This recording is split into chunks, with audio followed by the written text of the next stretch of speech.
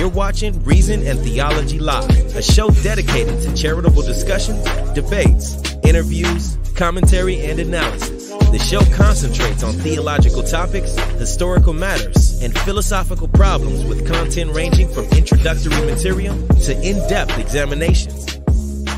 And now, your host, Michael Lofton. Hey, everybody, welcome back to Reason and Theology. Your host, Michael, on a Friday. We're back, joined by Dr. Jim Papandrea. How are you, Dr. Jim? Great to have you back on. I'm I'm doing fine. Thanks for uh, thanks for having me back. It's great to be back. Always great to talk to you. And I and I do want to know, for what it's worth, my books are real. Also, so, I, I um, recognize. Looks like you have the Ancient Christian Commentary series, and then also see the 38 volume Early Church series. Now, the one in the top right, the yellow one, I'm not familiar with that one. uh, that is the Sacra Pagina. It's a uh, Oh, yes, commentary yes. series on the New Testament. Yeah. I don't have that one. I think you have the NICOT uh, up there. Is that right? uh, Um, which the one is that? the dark blue ones uh the commentaries on old the old testament is that the NICOT up there Uh, no, I, that might be the old like word biblical commentary. I, I've got a Yeah, lot of yeah, books yeah. still from my old. Protestant days too. You know, i was and- trying to figure them out and see if i could spot some so yeah, anyways. Some of them But are still, are still good. You know. Oh yeah and and i can tell you use them too you can you can clearly see that they're it's a yeah. usable bookshelf so yeah.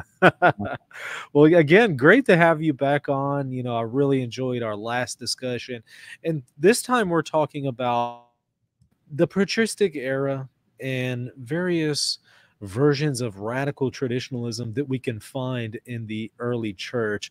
You know i i'm curious um is this that really has struck you uh, whenever you started studying church history did you start to encounter some of these groups and you just thought gosh some some of these people sound pretty similar to what we see today You know, actually, when I first started studying uh, the early church, Mhm. I um, I was not Catholic. I so I was baptized Catholic, but raised in in uh, Protestant denomination. I've been in two different Protestant denominations.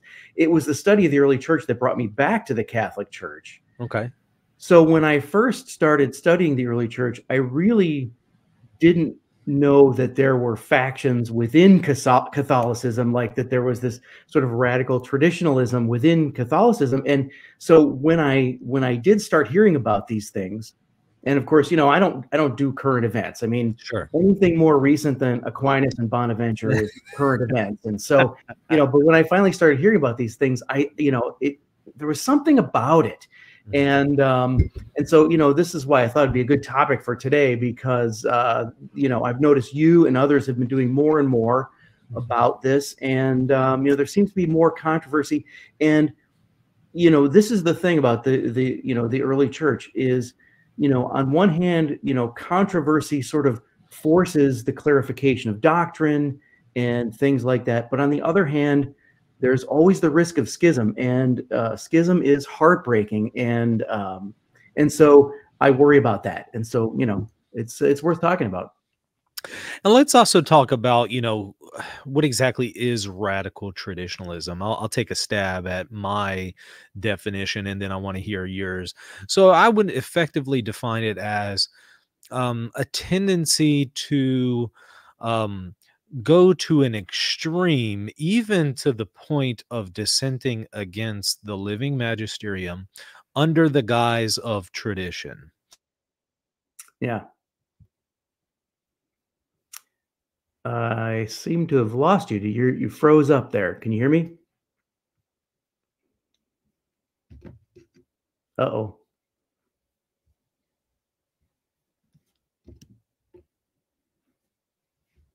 Hmm. I don't see you. Did I lose you? One, two, three, testing. I'm Are here. you able to hear me? Yeah, I, I can now. I lost you there for a minute. Okay. Were you were you able to hear me that whole time? I was able to hear you the whole time Yeah. and and see you, but I was I able to see you anything. back. Yeah, that, I don't know what, what's going on. I apologize. May it could be a connectivity issue on my on my end here, so I apologize.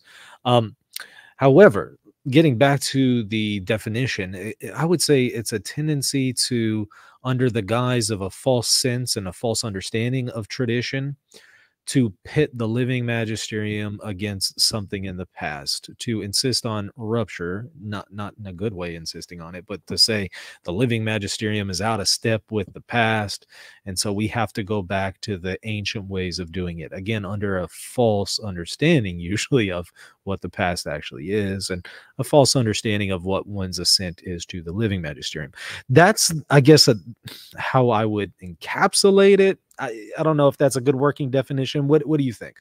Yeah, no, I, I think that sounds about right. And and I think there's two things going on here. You know, uh, in the one sense, as you say, it is an attempt to sort of pit tradition against uh, against the magisterium, against the the way the church has developed to this day. So, it, so what's going on there is a is a very interesting kind of denial of the legitimacy of certain developments within the within the church. So, so to the extent that there may be something in the in the earlier expressions of Christianity that we don't do now or that we do differently now, there's a denial of development. There's a denial of the legitimacy of development over time.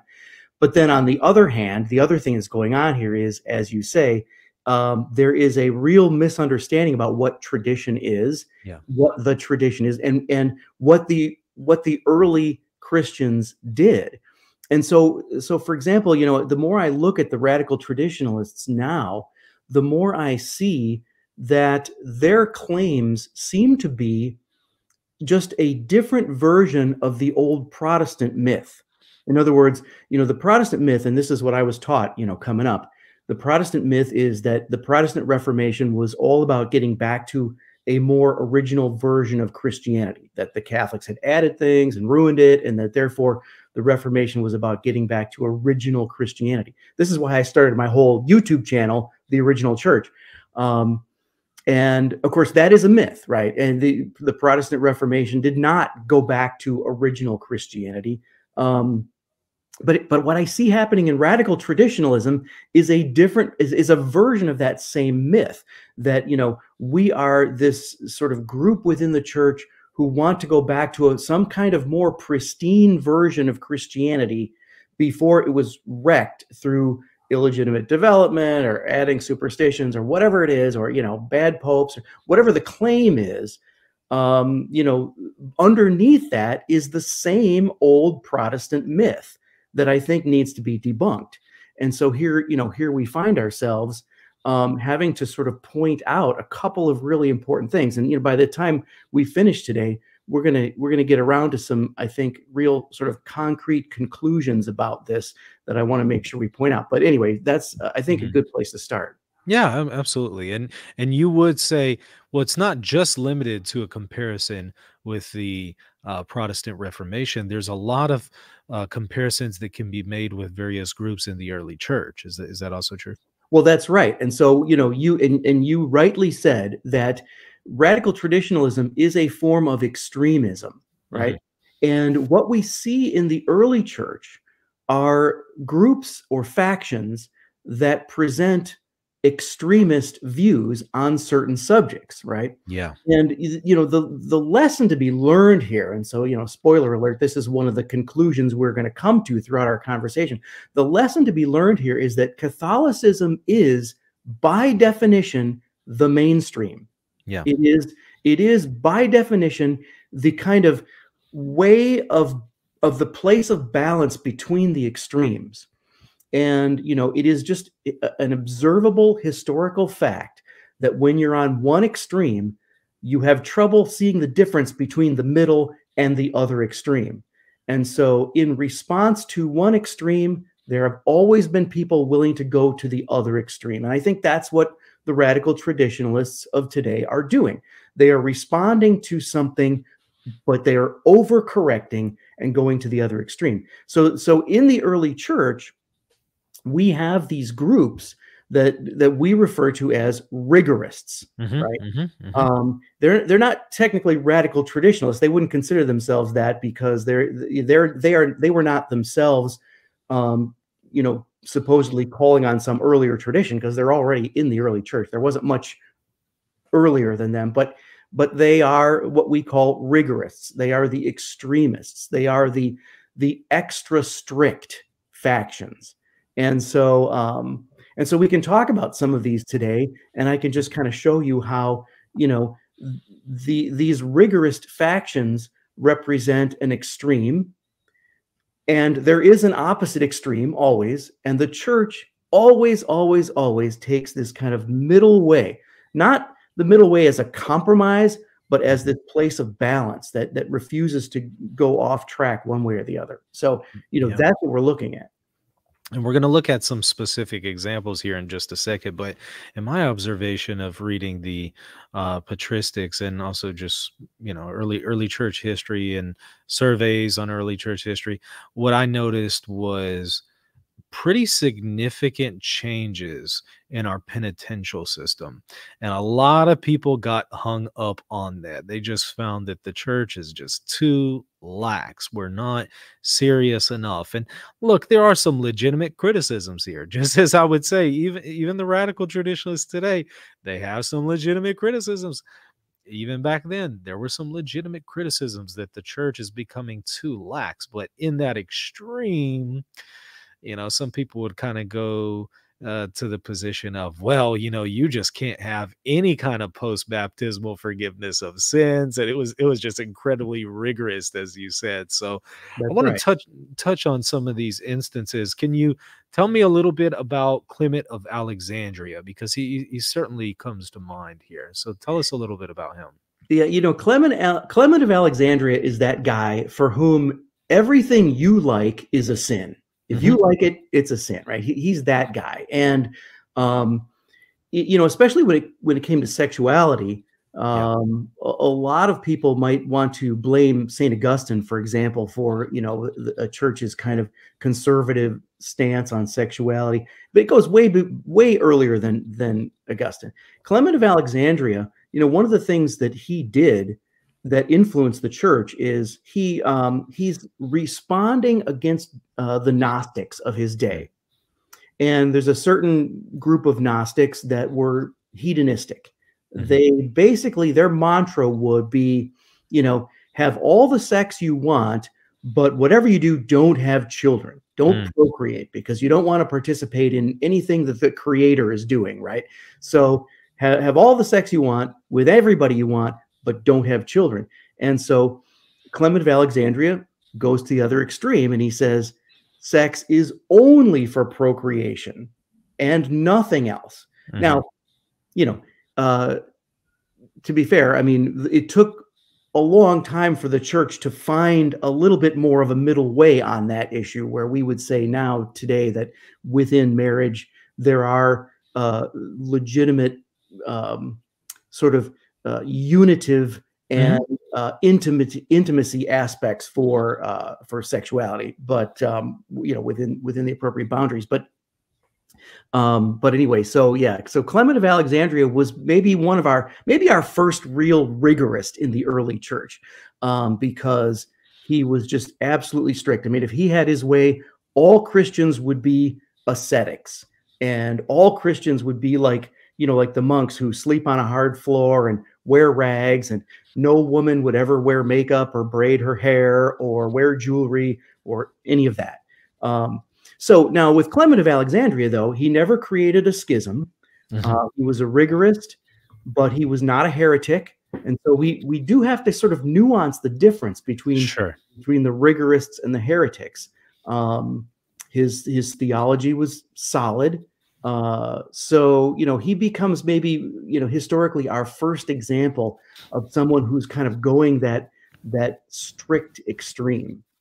Yeah, but he remains in communion. However, another instance is Tertullian, and he unfortunately is a different story here. Uh, so tell us a little bit about him. Yeah, well, you know, it, it's kind of progressive in the sense that with each one of these rigorists we're going to talk about, they move closer and closer to schism. Now, with Tertullian, so so Tertullian, if if people might be familiar with him, um, because he is one of the first uh, Christians to write in Latin. Mm-hmm. He gave us the terms that we use in English for the Trinity. um, Trinitas in Latin. Not that he invented the concept, because before him they had a Greek term for that, triados, the divine triad. Um, but he gave us the Latin terms, uh, you know, one substance, three persons. So again, on the Trinity, he's absolutely solid. In fact, he is one of the guys who helps us clarify the doctrine of the Trinity uh, for his time period. Um, but he was the he was a member of a group called the Montanists, who were, um, near as we can tell, charismatic. They were pacifists and they were rigorists. They were very strict. Um, you know, he's got one document where he says, he says, ladies, if your veil isn't covering your whole neck, it's not big enough, right? So the veiling of women. Um, and then, you know, we're also getting into an area here where the rigorists are very concerned about um, second marriages. Mm-hmm. People who are uh, divorced or widowed and being remarried in the church. And the popes are blessing these second marriages. Now, you know, this takes a little bit of unpacking. And and and you know, the interesting thing about this is that this seems to be sort of the beginning of our current practice of annulments. Mm-hmm. Um, in other words, so if you think about it this way, um, the rigorists are going to say, you know, marriage is for life, and once a marriage ends for whatever reason, widowhood or divorce, no remarriage ever. That's mm-hmm. what the rigorists are going to say. Mm-hmm. Now, but remember, there's always the other extreme. We, for lack of a better term, we call them the laxists. They're mm-hmm. lax. They're mm-hmm. or I mean, you could call them the you know the liberals of the early church if you wanted to. But uh, the, so the laxists would say, ah, you know, just show mercy on everyone, give everyone the opportunity to be married as many times as they want. Right. Mm-hmm. So these are your extremes. And what does the sure. church do? The church finds a way to um, emphasize the sanctity of, of marriage and the fact that it ought to be for life, but also to show mercy to those who find themselves unmarried again and to take their case for remarriage on a case by case basis. So, mm-hmm. this is what it seems like they're doing, although we don't have a lot of the details. So, the popes are allowing second marriages. And Tertullian is one of these rigorists who oppose, who like openly opposed the popes uh, for this. He also opposed the idea of a second reconciliation for the same mortal sin. So if I if I commit a mortal sin and I go confess it, right? That's it. If yeah. I do it again, no, you know, I'm excommunicated for life. Yeah. If he had his way, that's you know, right. Um, you know, that's what he's proposing. Now, it's it's debatable, and scholars debate over to what extent the Montanists constituted a schism. Right. Mm-hmm. The latest scholarship on this is that they were more of a charismatic renewal movement within the church, but were not quite a schismatic movement. So, you know, debatable on this.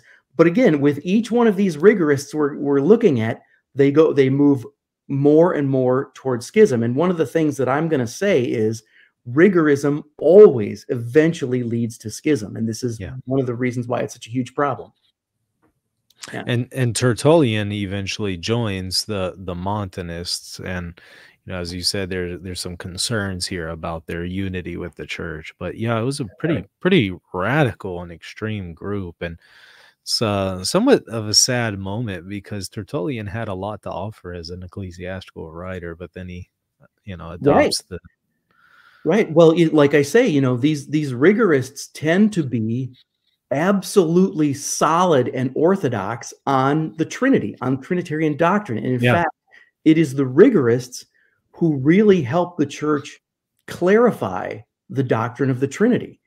And yet, on these other matters, mm-hmm. um, they they go to the extreme. And and what we're going to see as we sort it out is that on, on certain doctrinal matters like the Trinity, these rigorists are, are absolutely solid and orthodox. But where they drift into heresy is in their sacramental theology, mm. right? And so it, it becomes a matter of how they view the sacraments and how they view the church, their ecclesiology. So, yeah, yeah, which is very similar to radical traditionalist tendencies today because as I've pointed out with radical traditionalism today at the heart of it is a deficient ecclesiology. That's and, really what and. And you're absolutely right. Eh, that Yeah. and sacramental theology. Yeah. So let's talk a little bit about Hippolytus. Was he, at, I, I know he died in communion with the church, uh, but I think at one point he was out of communion. Is that correct? Well, that also is a matter of debate among scholars, and and you know, adding to the the confusion is uh, there's debate among scholars over the the documents written by Hippolytus Mhm. and whether they're all written by the same person. Right. Mhm. Some scholars actually propose that there's more than one person with the name Hippolytus. Sure. But uh, if people are familiar with with the um, the document, um, the apostolic tradition, Mhm. it's usually uh, attributed to Hippolytus. But even that has layers of material that were added later, so it becomes a little bit different, difficult to sort it out. Um, so when you read the documents of Hippolytus, he's he definitely uh, opposes the popes. He openly criticizes the popes. He calls them stupid. He calls them idiots. He uh, so he you know he has no problem uh, opposing them. It may be that he is, and according to tradition, he's supposed to be the bishop of some place called Pontus, but we have no idea where this is. Hmm. Theoretically, it would be in in the in the area close enough to Rome that he would be sort of a part of the, if you will, archdiocese of Rome, right? And so he he seems to be opposing, in general, the the authority of the Pope or perhaps any metropolitan to sort of override his own excommunications. And so what's what's going on here is that Hippolytus claims for himself the role of bishop, apparently, Mhm. and he claims to be able to excommunicate people. So either he's doing that because he sees himself as a bishop, or perhaps he is a bishop, or he's doing that because he thinks he has that authority as the priest as a, of a parish. But whatever i- that situation is, the people he's excommunicating are going to Rome and to the popes, and they're being reconciled, and Mhm. that's what he's upset about. What are the issues here? Again, uh, remarriage, second and third marriages, and get this: Hippolytus is upset because the popes are um, blessing second and third marriages for priests, and Mhm. they're allowing priests who get married while they're a priest to to remain as priests. So notice, even the rigorist here is not arguing for a celibate clergy. He's Mhm. arguing for um, the the fact that clergy should not be allowed to be remarried. Right. The the the uh, the celibate clergy actually develops, you know, a little bit later in the fourth century, and I've got a video on that where I make it clear that this is a good and legitimate development. Sure. Um, right. So this is one of those cases where you can't just say, you know, automatically everything the earliest Christians did is exactly what we should be doing. But you know, it seems like what Hippolytus is arguing for is something very much like what our Eastern brothers and sisters do, where they're they're priests. If they're married when they become priests, they remain married. But then, if that marriage ends, they would not get remarried. Right. And if they are single when they become a priest, they would not get married. So Right. that seems to be what Hippolytus is advocating for. Um, so, at any rate, though, but again, notice the popes are taking this more middle road where you know they're they're not saying let everybody get married as much as they want, but they're also not taking this strict um, the, the strictest way, and they're you know they're they're finding a way to show mercy uh, on a case by case basis, um, and so and so Hippolytus is openly criticizing the popes on on this issue. Here's here's what's interesting. You know how I mentioned earlier with radical traditionalists, there's a false sense of tradition. I remember with the what was it the was it the Amazonian Synod? Uh, there was a major panic that um, maybe priests in the Roman Rite in the Amazon would be uh, or individuals would be allowed to marry and married men could then be ordained to the priesthood right? Um, so then you would have married clergy who are at least priests in the roman rite and this was seen by some as just heresy. This is just and again we're not debating the question of whether or not priestly celibacy is the ideal. It certainly is. Um, but some people thought okay well you know having married clergy in the roman rite that's just heresy And here it's very clear in the Roman tradition, you do have, however, a history of married clergy. And so one certainly cannot anathematize it as heresy. Yeah. Again, one could argue that maybe that's not the ideal. Perhaps it's ideal to have priestly celibacy. Of course, it is according to St. Paul. Um, but you could have something that's less than ideal that's still good.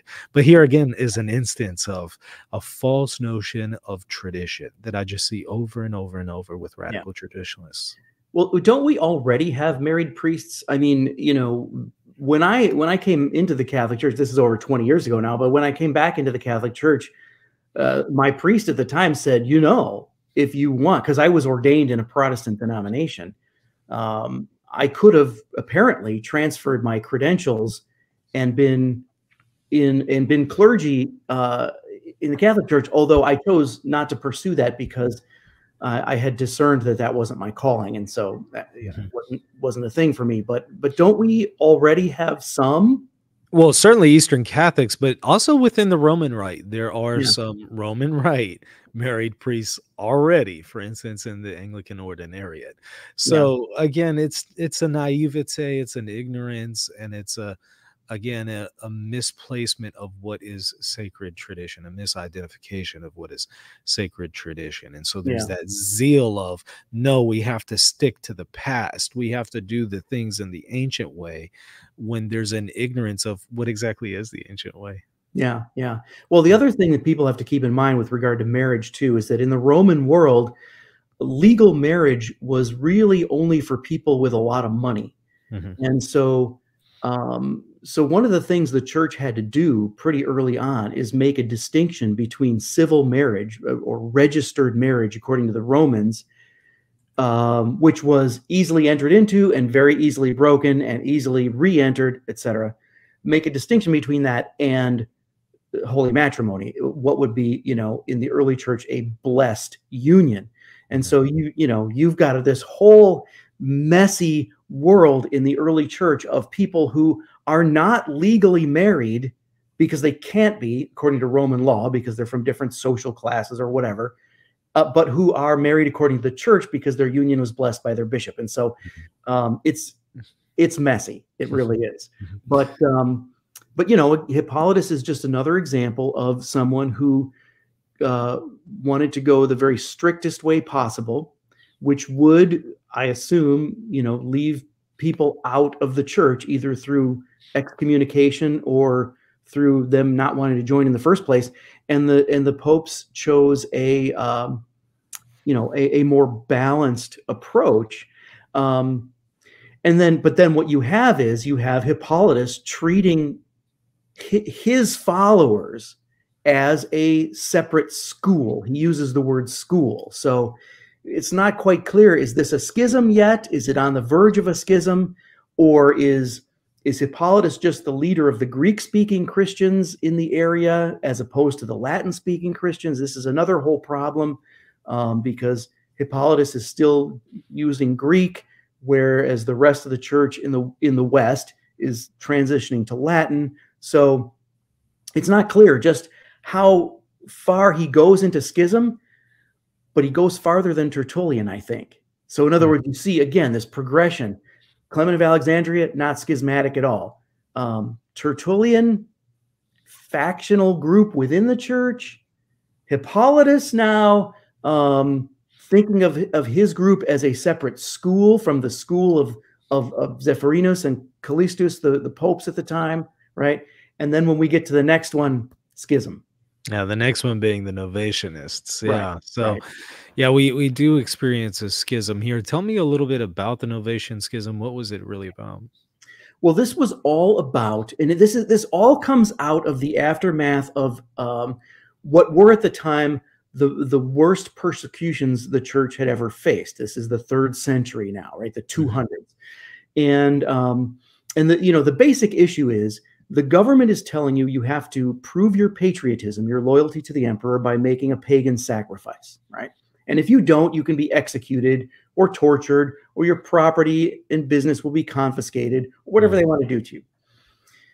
What do you do with the people who give in to that, who make the pagan sacrifice to save their life or their livelihood, who deny the faith as a requirement as part of that that pledge of loyalty and then show up for church on Sunday for mass. What do you do with these people, right? And and again, you know, there's the there's the laxist party who wants to say, "Oh, just let them back in. No consequences for what they've done." Problem with that is everybody knows someone or has a loved one who didn't deny the faith and who was executed for it. Hmm. So why did my loved ones die for the faith as martyrs if you hmm. guys can just waltz back in here and come to mass? Right. Mm-hmm. So mm-hmm. so the laxists are saying, ah, let them back in. The rigorists go to the other extreme and they say, no, excommunication for life. And you know, maybe on your deathbed we'll reconcile you if you're sorry enough. But you know, that's the rigorous position. And again, as always, the mainstream church takes this sort of place of balance in the middle way, right? Not the extreme that says no consequences, but not the other extreme, the rigorous extreme that says extreme consequences. Mm. It's this place of balance where there's consequences, but also uh, reconciliation. So, what does that mean? It means it means reconciliation with penance. And mm. this is the moment in history when our sacrament of confession, penance, and reconciliation really becomes standardized and formalized throughout the church, right? This so the persecution forces the standardization of our sacrament of of uh, reconciliation. So that's what's going on here. But Novatian became the head of a group who uh, who split off. Now again, Novatian is absolutely solid and orthodox on the Trinity. Before the schism, he wrote a document on the Trinity that literally helped define the doctrine of the Trinity for the third century and, and put all the building blocks in place for the for the uh, Nicene Creed, right? But then, you know, it, the the the controversy gets worse and worse and worse until a bunch of uh, you know schismatic bishops pull him aside and consecrate him as the bishop of Rome when he's not, and that he was not legitimately elected. And so we get our first real sort of, they call it an anti pope, you know, someone who claims to be the bishop of Rome, but who isn't when there's actually a different bishop of Rome. And, and actually, there was an election.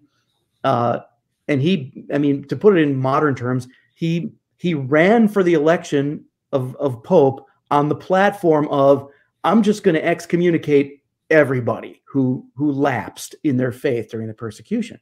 Well, he he wasn't elected, right? Cornelius becomes the next pope because Cornelius is is is able to find this middle way between the laxists and the rigorists. And so so yeah, so novatian is really the first like real schism of the church where you can put uh, and i'm not talking about heresies there have been heresies before but i mean the first real sort of schism where you can put a name on it we call them Novatianists. they called themselves purists mm.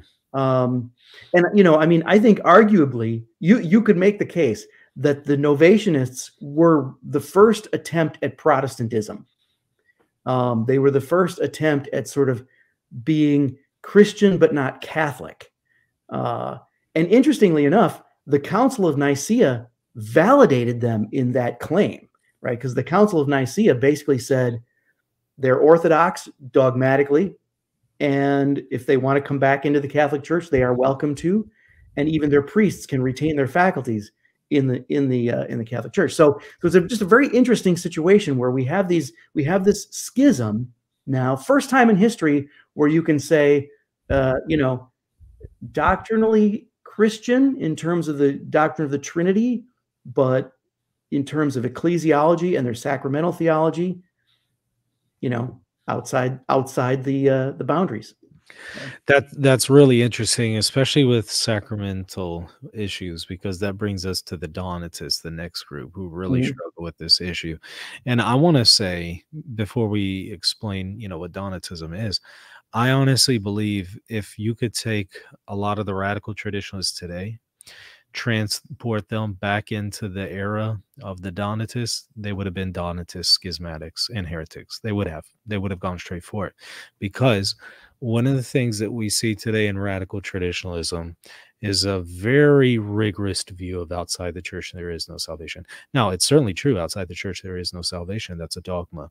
But what I mean here is an overly rigorous and false understanding of what that means. Yeah. Right. And likewise, the Donatists struggled with this to the extreme that it overflowed into their sacramentology. So, can, can you tell us a little bit about their perspective? Yeah, well, you know, the Donatists come up in the uh, you know fourth and fifth century, and they're they're sort of famous for um, being in a controversy with Saint Augustine because he was in North Africa. Donatism was primarily a North African phenomenon, but they basically took what what the Novatianists did with the sacrament of of reconciliation, the Donatists did with the sacrament of holy orders and so they sort of you know just turn it up a notch. And and i think you're absolutely right. I mean i would say for both the novatianists and the donatists they are the the radical traditionalists of the early church. Um, and especially with the donatists because what they do then is they take it to the extreme of saying okay now i can point to clergy who are not legitimate because right? And then they have their reasons um, and they start they start parsing out who who the legitimate clergy are. And you know, this is there's a really interesting phenomenon that takes place at, at this time because if you were to ask if you were to ask uh, you know in the earliest centuries of the church what you know what what are the worst sins you can commit? What are the mortal sins? They you know the first answer would be uh, any sin that breaks one of the 10 commandments right? Mm-hmm.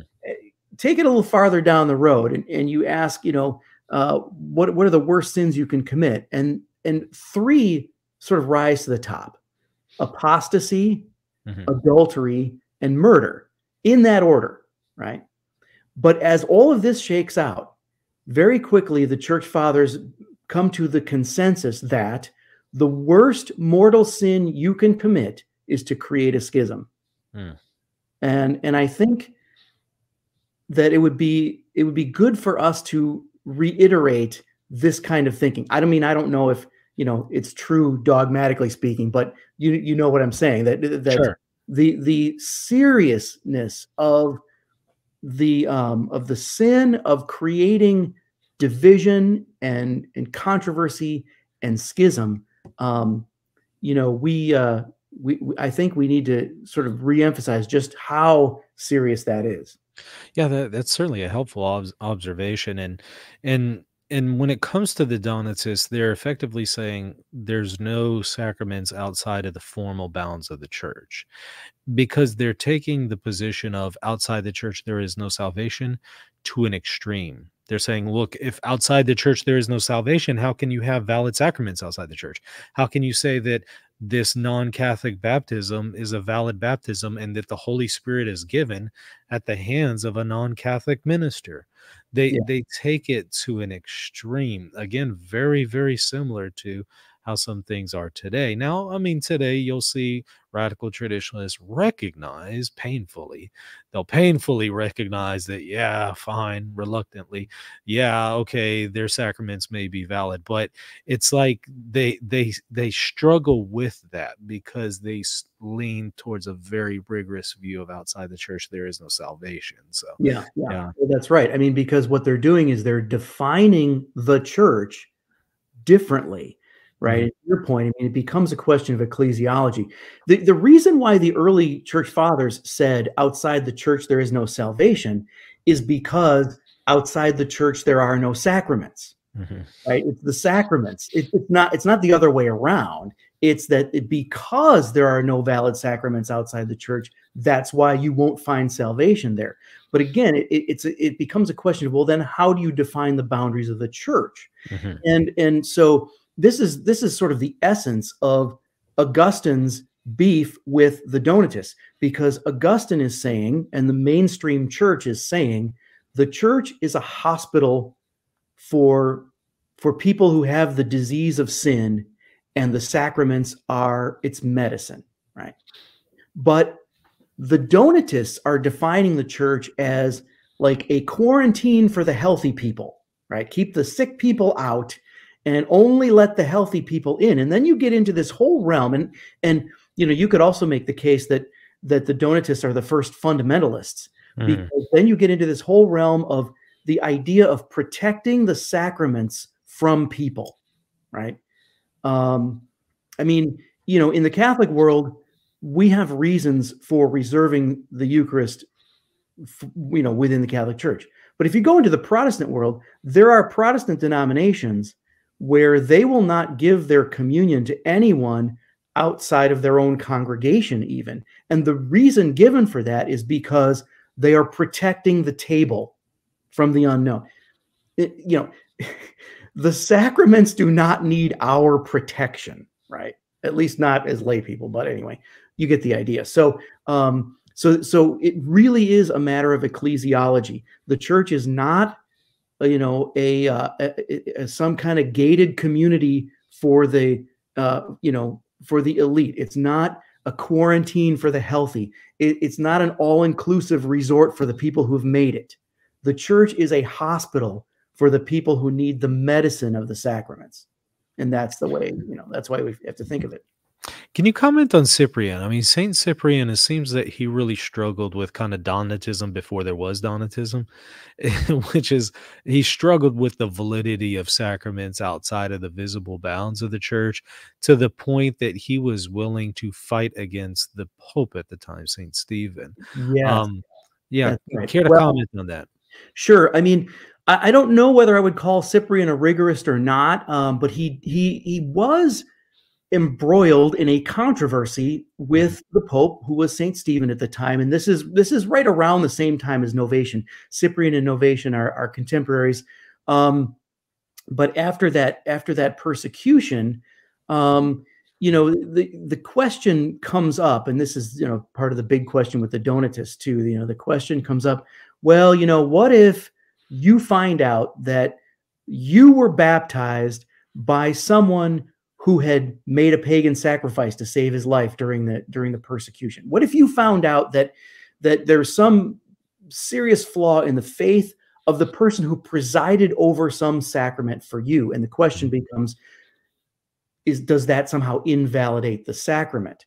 Mm-hmm. and now the good news is that the church you know came to the conclusion and still teaches that no it does not invalidate your sacrament which is which is good news for everybody because for whatever reason, if you found out that the, the priest who baptized you or married you or confirmed you, if you found out later that that person was a terrible guy for some reason, mm-hmm. your baptism, your, your confirmation, your sacraments are still valid. So no one should worry about that. The validity, the validity of the sacraments does not depend on the morality of the presider. So mm-hmm. that, but at the time, there were some in North Africa who were experience who were experimenting with the idea of rebaptism. In other words, um, when someone comes to us for confession and we reconcile them, should we rebaptize them? Was their sin so bad that they need to be rebaptized? And so there have there were a couple over uh, over time in North Africa who experimented with the idea of rebaptism and but the Pope and the church declared no, baptism is not to be done again. You don't rebaptize. So for a while, Cyprian was arguing with St. Stephen about this. Cyprian wanted to rebaptize.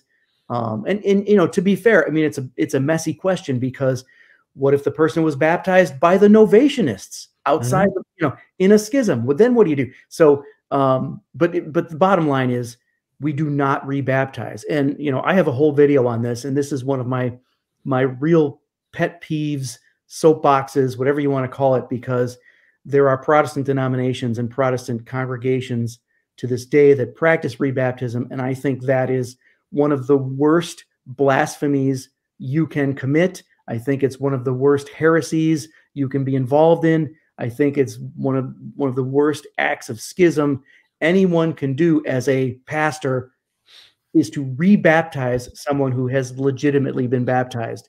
So, you know, don't get me started. Interestingly enough, some of the Eastern Orthodox uh, rebaptize, and and it's due to a false understanding of the sacraments and a very rigorous yeah. view. Not all Eastern Orthodox do that, but there are Orthodox who will rebaptize Catholics who are received into Eastern Orthodoxy, for instance.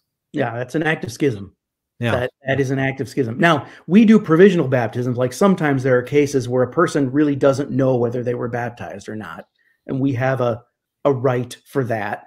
But um, but that's not a rebaptism. So yeah. So I mean that was the issue with Cyprian. Um, but again, you know these these these church fathers, um, you know they they they skew off to an extreme in some of their sacramental theology and some of their ecclesiology. Um, but even with the Donatists, I, I, don't think there's any evidence that the Donatists were were doctrinally heretical in terms of the Trinity.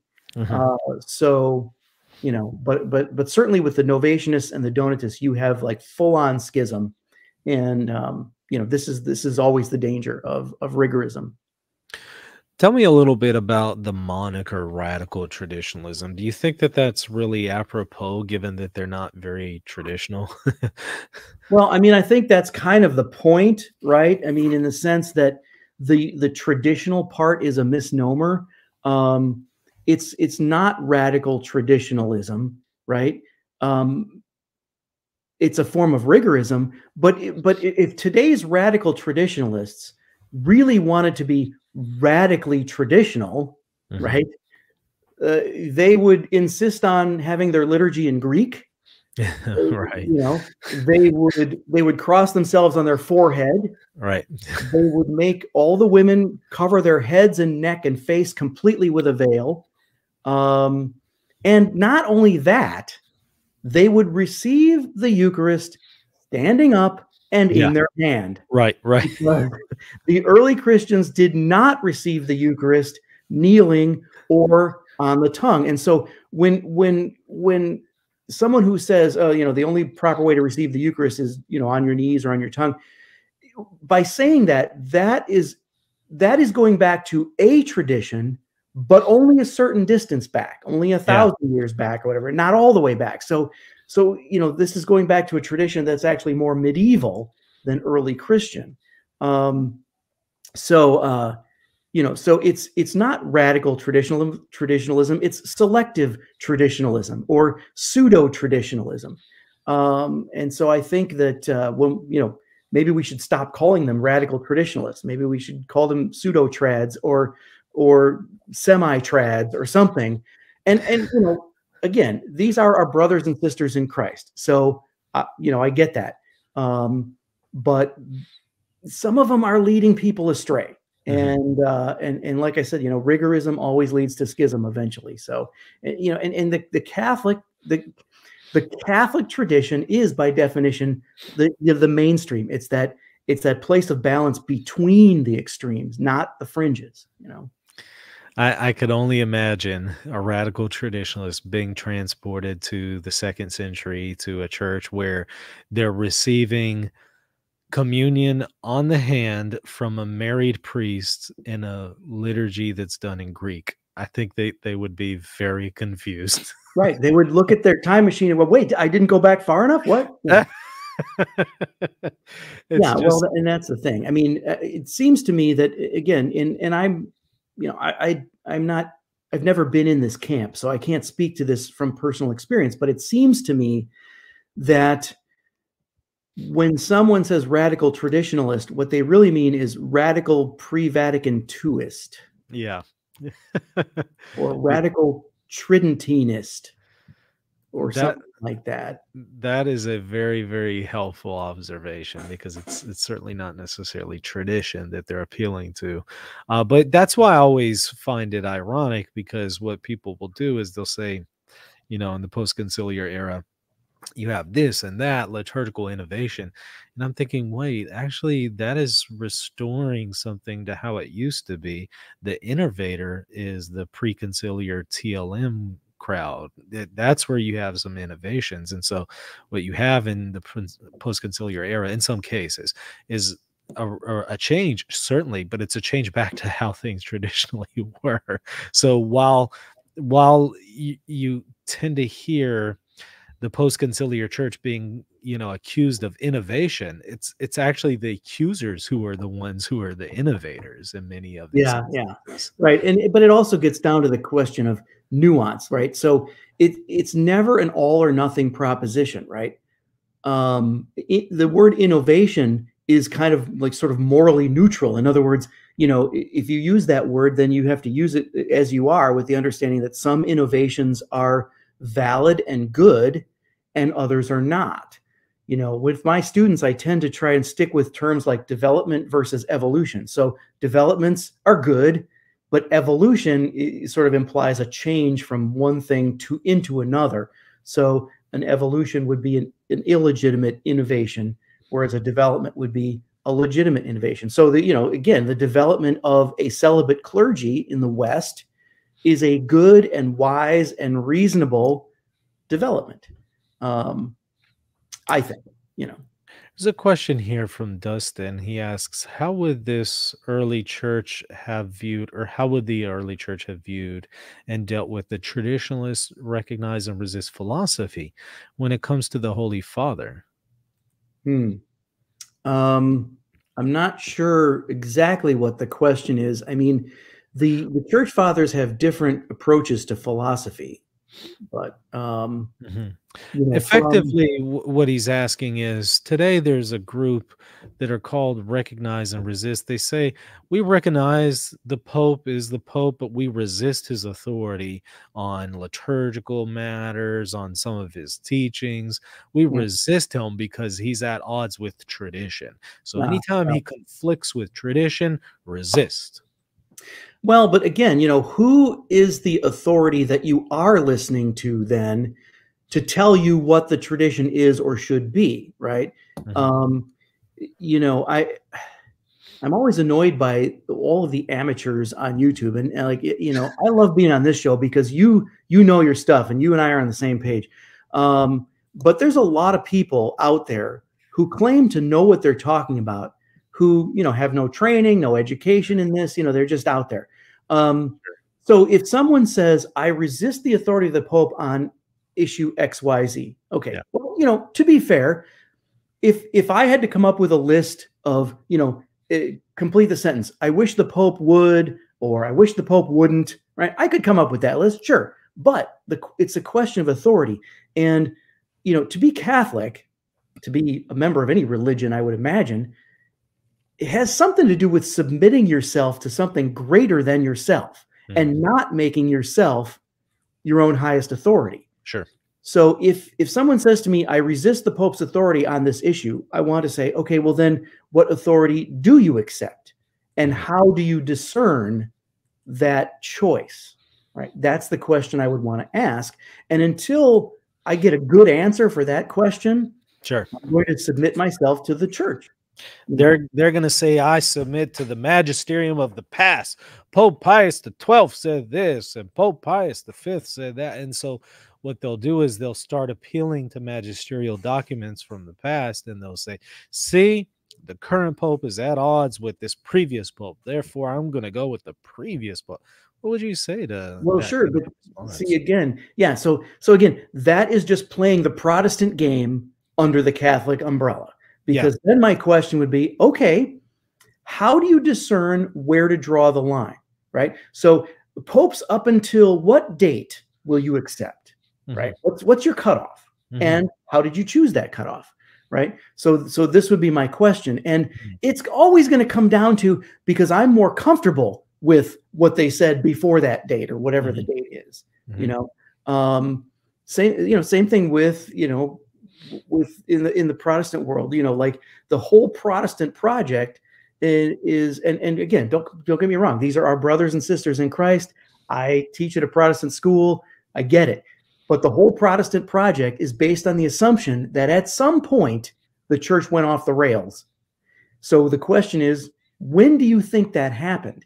Right, mm-hmm. and and by what authority do you make that determination? And that's you know these are the questions we would have to ask. John asks, how do you see or do you see uh, apocalyptic ecclesiology bound up with radical traditionalism? The idea being to preserve the church from some imminent and ongoing end times apostasy. Sound familiar today? well, I'll tell you, you know, I would never say that the devil cannot infiltrate the church. Right. Of course. Um, it's like, uh, you know, Judas. And, I, and I, I wouldn't say that, that popes – you know the, the, infallibility of the office of the papacy does not mean that individual popes are right about everything. You know, Mhm. it's like you know what Alexander the Sixth said when he heard uh, that he had been elected pope. He said, "I can't wait to go home and tell my wife." Yeah. so, not all popes are perfect. um, but But, do you uh, notice a connection and a tying with the end times are now, it's imminent, you know? Have you noticed a connection there with radical traditionalists? I think so. I think so. But again, I don't. I don't follow the radical traditionalists to know Oh, it's what they're saying. But I will. I will tell you this from my own experience. sure. just the other day i was you know lamenting the direction culture and society are going Mhm. and i can give you my whole list and i was saying to myself surely we are in the end times and then i opened up and i happened to be reading one of saint cyprian's treatises and i opened up cyprian third century guess what he said surely we are in the end times yeah, yeah. I mean that's all i well, technically, we've been in the end times since the book of Acts, according to the author of sacred scripture. and we Yeah, should no, I- I know- like I we're in the get end times whether we are or not yeah, I, I Yeah. totally get you. And but yeah, they're they're I'm noticing a lot of the radical traditionalists have their hair on fire right now. Really, really going towards we're in the end times, the times of the Antichrist is nigh, and you know, it's Yeah, just well, you know, look, if they're right, right? Maybe they're right, but if so, so speaking to the radical traditionalists now, if you guys are right, then stop creating division, right? Mm-hmm. Stop trying to shoot the man in the foxhole next to you and and aim at take aim at our common enemies, right? Stop creating division, create unity within the church.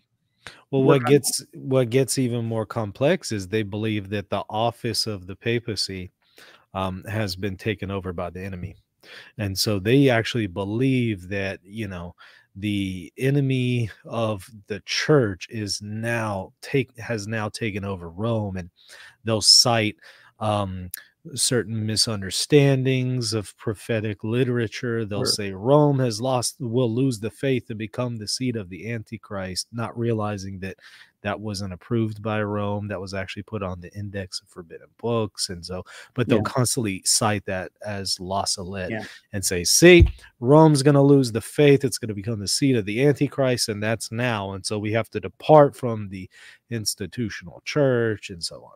Yeah, well, I would say to that, I would say this to that. I would say, look, you know, this is again the same problem that the Protestants have.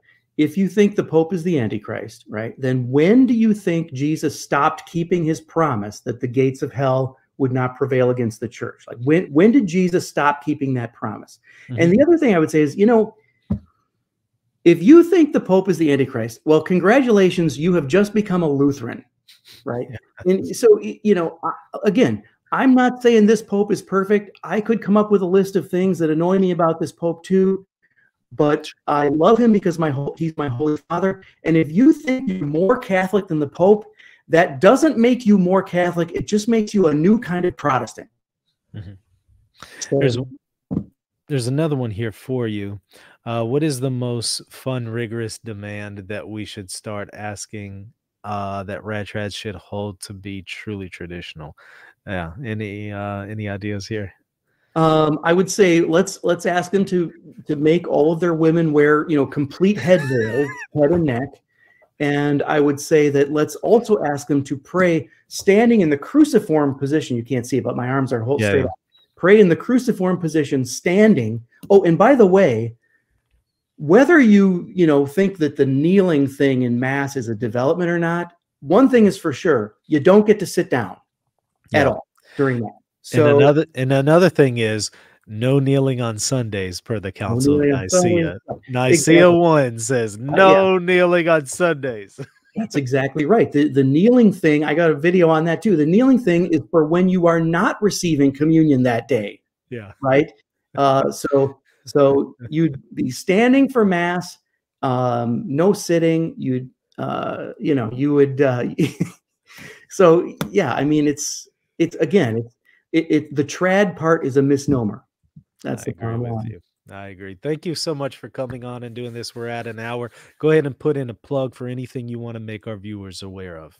Uh, just come out and check my check out my YouTube channel, The Original Church, and um, if you like that enough, we have a locals community, the Original Church community on locals, where I'm teaching a Bible study every week, and uh, we're having regular meetings to talk about prayer and devotion and spiritual life and popular culture and all kinds of stuff. So all the interaction I do with folks is on my locals community on locals.com, the original church. So uh, yeah, come and see me. Thank you so much again for coming on. Truly Thank an honor. You. Love to have you back on again. Always yeah, let's do it. Everybody hit that like button and the subscribe button. Thank you so much for watching. And also check me out, patreon.com forward slash reason and theology if you want to support what I'm doing here. We'll see you later. God bless. If you're looking to buy or sell a home, office, or any kind of property anywhere in the world, you're going to want to call Real Estate for Life and they're going to connect you with a Catholic agent. Now that agent will donate a portion of their commission upon sale and Real Estate for Life will donate 75% of that gift to a pro-life organization at no cost to you. Call Real Estate for Life at 1-877-LIFE-US1 or text them